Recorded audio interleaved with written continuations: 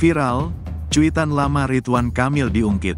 Cuitan lama bakal Cagup Jakarta.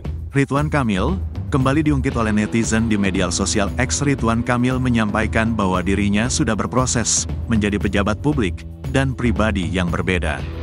Dulu 12-15 tahun yang lalu sebelum jadi pejabat publik, saya memang aktif bermain Twitter, sekarang X.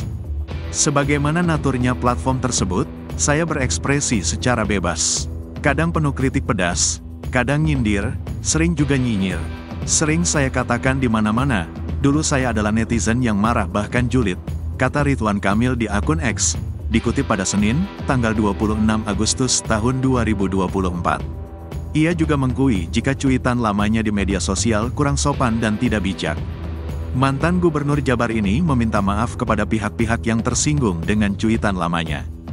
Bagaimanapun, untuk tweet-tweet saya yang lama, saya akui dulu saya kurang bijak dan mungkin kurang literasi bahkan kurang sopan. Saya mohon maaf jika ada pihak-pihak yang tersakiti, terkritik, tersindir, atau terhina dengan cara saya berekspresi. Semoga saya bisa lebih baik lagi ke depan. Tahun 2017 sampai tahun 2018 saya pernah meminta maaf tentang hal-hal ini.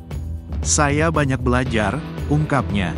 Semua orang pernah protes, tapi proseslah yang akan membuatnya sukses. Katanya masa lalu tidak akan mengubah masa depan, tapi sebaliknya. Maafkan aku yang dulu. Mari kita move on, pungkasnya.